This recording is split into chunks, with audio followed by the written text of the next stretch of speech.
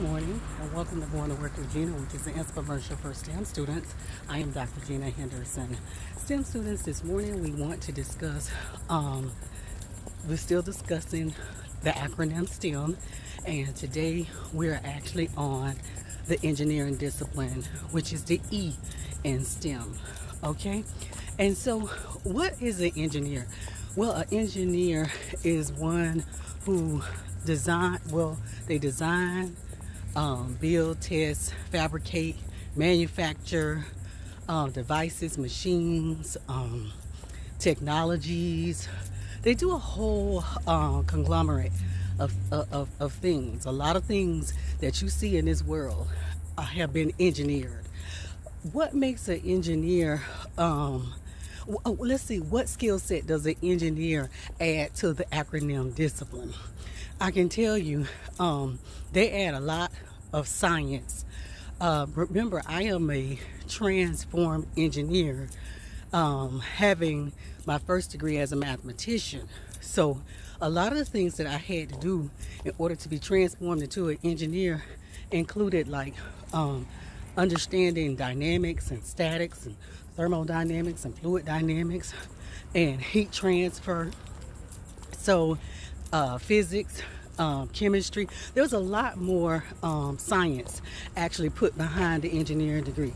So engineers do take all of the math courses that a mathematician has to take, but they have that added feature of science because they have to understand Newton's um, third law and second law of motion.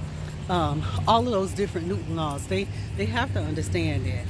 And so um, when what I what I feel that engineering has added to my skill set that I have is that engineering um, they have taught me how to how to apply uh, my math skills. So um, engineering for me is more of a platform where I get to apply my knowledge. So all of the knowledge that I've gained, I get to apply it to learn how to improve things or to learn how to do things faster, better, cheaper um, when working here at the Kennedy Space Center.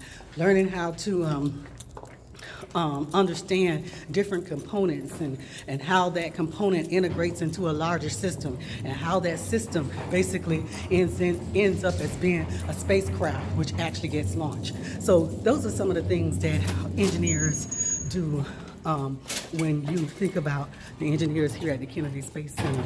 And so, like I said, there's all type of engineers. There's aerospace engineers, reliability engineers, quality engineers, safety engineers. Um, there's chemical engineers, biomechanical engineers. There are electrical engineers. There are mechanical engineers.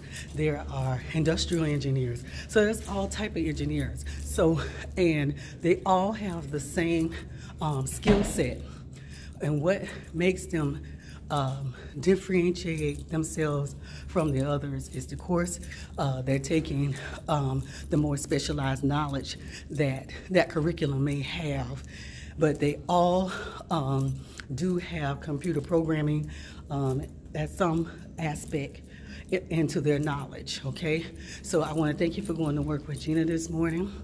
And as we continue to understand the STEM acronym, um, you will understand what are some of the attributes and characteristics that an engineer or a STEM professional hold.